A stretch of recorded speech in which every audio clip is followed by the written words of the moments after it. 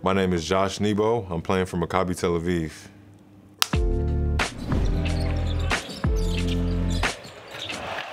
It feels good to come back, you know, it feels very good because I'm pretty like familiar with the culture, familiar with the language, familiar with how things go in the um, in the league here. It feels good to be back in the in the league and kind of see some people that I've known before and be back in the area. So it feels pretty good.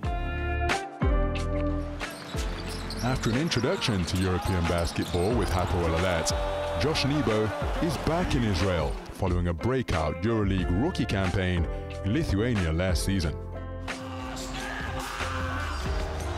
Josh Nebo comes out of Texas A&M I must have wondering what on earth he has walked into. My first EuroLeague game, I felt a lot of adrenaline. I felt, um, my, I think we played against Zenit at home, and it was just like the, the fans were um, going crazy. It was like a sold out game. So I remember that game.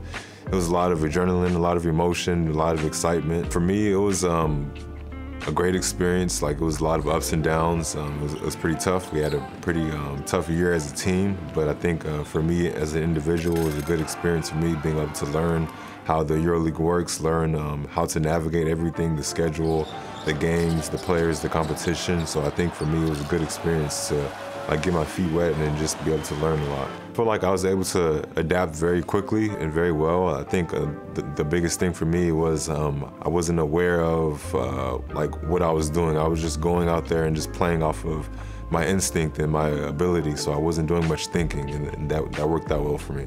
Now a central figure in coach Oded Katash's plans, Nebo's powerful prowess in the paint is pivotal to Maccabi's pursuit of postseason basketball for a second successive season.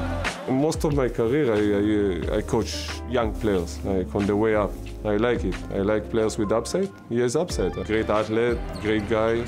Got some other uh, skills that uh, can show for the next years. I'm a player that's still um, rising, a, a, player that's still building in, in, his career. So you know, it's a, it's a good thing, but it still means I have more work to do. So it's not a finished product yet. The club has a great history of winning the EuroLeague.